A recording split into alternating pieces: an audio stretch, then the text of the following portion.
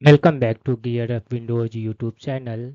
In this video, we will guide you on how to fix single click to open an item is grayed out in folder options of Windows 10, 8 or 7. The same method works on Windows 10, 8 and 7. When I open File Explorer and open this one folder options, I see single item to open an item single click to open an item is grayed out as you can see on the screen.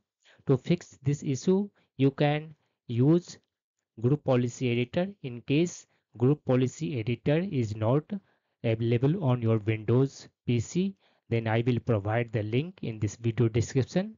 You can follow that and enable local group policy editor on your windows pc after that press Windows plus R key on the keyboard.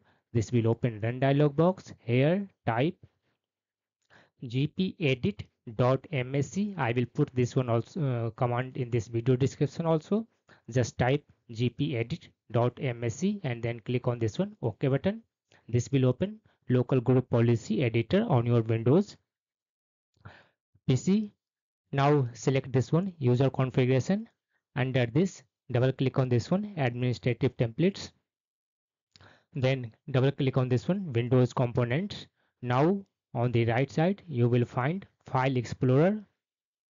Double click on it. Now you will find a policy name that says turn off classic shell just double click on this one policy. And here you can choose not configured or disabled option just select any one option. I suppose uh, in my case i have selected this one not configured option. After that click on this one apply button then click on this one ok button. Now close local group policy editor uh, and now open command prompt with administrative privilege. For that you can press windows plus r key on the keyboard to open the run dialog box then type cmd and from this one keyboard uh, press ctrl shift and enter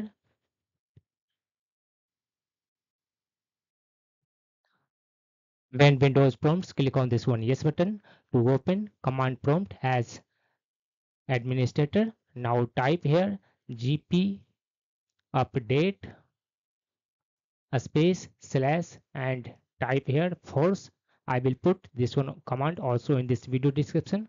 After typing this one command, press enter on the keyboard. This will update group policy that you have modified just now. Once you find that computer policy update has completed successfully, close this one command prompt window. Again open file explorer. You can use Windows plus E key on the keyboard to open this one file explorer. Then again click on this one view and select here options. Then click on this one change folder and search options.